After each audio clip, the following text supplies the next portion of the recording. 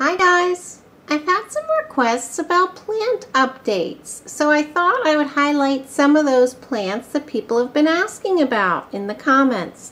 So this one is the String of Hearts, and someone who had watched my video where I showed it blooming asked for an update, and I wanted to show you that it is probably about as tall as I am. I haven't done any more propagating on it, but uh, it's looking really long.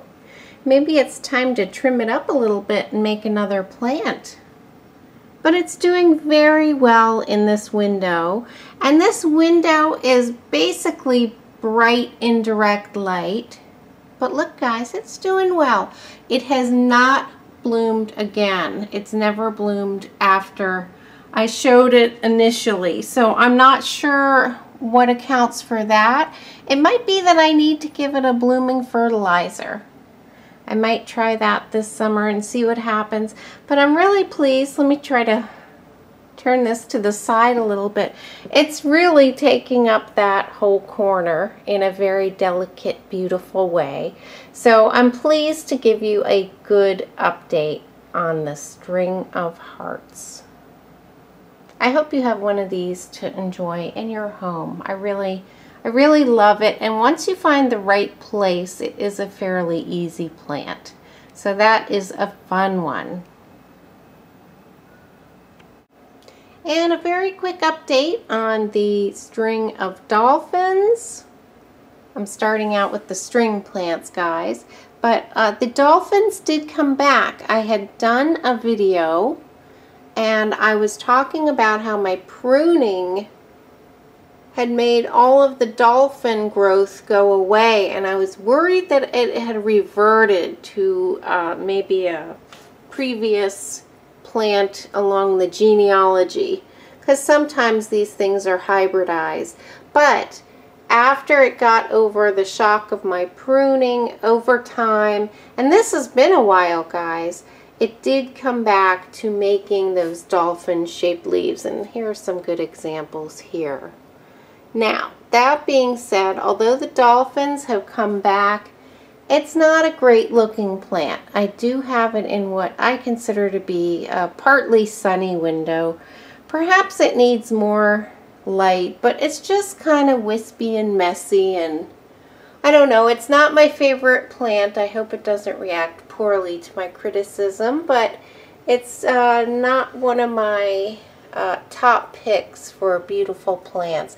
But that being said, the dolphins came back. So let's consider this one a, su a success story. And it is thriving, it is growing. Here's an update on my Sansevieria cuttings that I took in a video a couple months ago titled Saving My Sansevieria from Myself. And um, if you didn't catch that video, I had overlooked a plant. It was tucked behind some other plants and it hadn't been watered in a very long time due to the oversight. And um, I decided the best course of action would be to take cuttings and try to root them and restart the plant. Um, I felt terrible about it, but let me show you what we have here. Now, these have been inside my house. I brought them out just because I think the light is easier to see. It's easier to see in the light out here. But all of the cuttings, I don't think I've thrown any away. All of the cuttings have sent out some very nice roots. So uh, the next step, oh, I guess maybe this is the beginning of it right here. At the very end will be uh, to look out for little plantlets that form. But look, guys, they've all put out roots. So it looks like, oh, and there's a little nub at the end of that cutting. Still very small, but it looks like I may have been able to save my Sansevieria in the form of cuttings. All of them have roots. Some of them look better than others, and I'm going to change out the water. So the last three have uh, weaker roots, but these, these two here, these three, have really put out nice roots. So I would uh, count that as a good update. This, guys, is the result of the atrocious aloe repot. I think this is the best update yet. I may end up removing this. Let me do it right now as we speak. But if you watched my atrocious aloe repot, you would have seen a very long, spindly, dried out plant. But look how gorgeous this is, guys. This bounced back beautifully. So it looks like a couple of the cuttings didn't make it, but the main stem that I cut put out three new babies.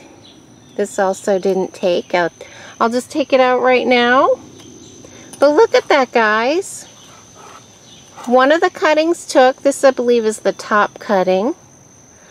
And um, right there. And then the main stem put out three new babies and I now have a beautiful plant instead of a tall spindly plant. So I would say that is a great success story and I'm happy to share that one with you. That was the atrocious aloe repot. Wow. And here is the Pachypodium that was in water therapy for a while. Now, I can't tell if it's any bigger now that I've repotted it up. The stem might be a little bit thicker and um, it, it, it looks more vigorous. I must say this one for me is a very slow grower. But I would say overall it does look healthier and it's doing well. It's such a cute little plant. I really love it. But so far, the water therapy and the attention it got. The TLC seems to be keeping it going. And right next door, this was a uh, cuttings repot. And it's looking a little bit leggy, but it's growing. So I'm, I forgot what these are called. Maybe Sedeveria? Comment down below. It's it, The name is eluding me at the moment. But all I did was cut some of these uh, stems and then pop them into some soil. And actually, let's look in here. You can even see some of these leaves are growing some babies. So I would say that propagation is looking much better than it was before, even though it is kind of hanging. But I like that look. And it's only been a couple weeks on this one um, the saving a succulent video that I did a couple weeks ago. But uh, I wanted to show you that the Echeveria is still alive. And not only that, several of the leaf cuttings are putting out roots. So this is a very quick turnaround. I can see at least three of them, especially this one in the back. Wow, look at that, guys. That one really took to the soil and the conditions out here. It has been very hot, and I think propagation always does well uh, when there's heat involved. The heat of the summer, good for this type of succulent propagation. So isn't that amazing, guys? We're already turned around here. So, of course, I will keep you updated on that one. And someone was asking me about my mistletoe cactus the other day. And here it is. It stays over on this side of the tunnel. It is prone to mealybug, but uh, regardless of that, it is still thriving. And the new growth on this is so much fun. This is one of my favorite succulents. It is, is so much fun to watch the new growth. Look at that structure isn't that neat, guys? There's even a new little patch back here. Such a beautiful plant. Sometimes the growth is really long like this. But it is just done really well. And if any of you saw my video probably two or three years ago, you would have seen a tiny little plant. So I'm happy to say that I've gotten the hang of this one and it's thriving. And despite many uh, battles with mealybugs, it is doing very, very well. At the moment, it doesn't have any. But like I said, it's so prone to them that I just keep it separate from the rest of the collection. So that is a mistletoe cactus update. Isn't that beautiful, guys? Love that one. And I'm going to show you this one as well. This was a moon cactus where I removed the dead moon cactus from the top of the base. It was a grafted cactus and it was on the base which was a dragon fruit cutting. So they often sell moon cactus on dragon fruit and um, sometimes the moon cactus dies. So I went ahead and, and removed mine and this is the perfect example guys. Once I removed the cactus on the top that was dead, arms started coming out down on the sides. So I would just keep taking the arms off and just placing them down in the soil. And now I have this nice little wonky looking dragon fruit plant. So this arm's getting quite long and they put out air roots sometimes.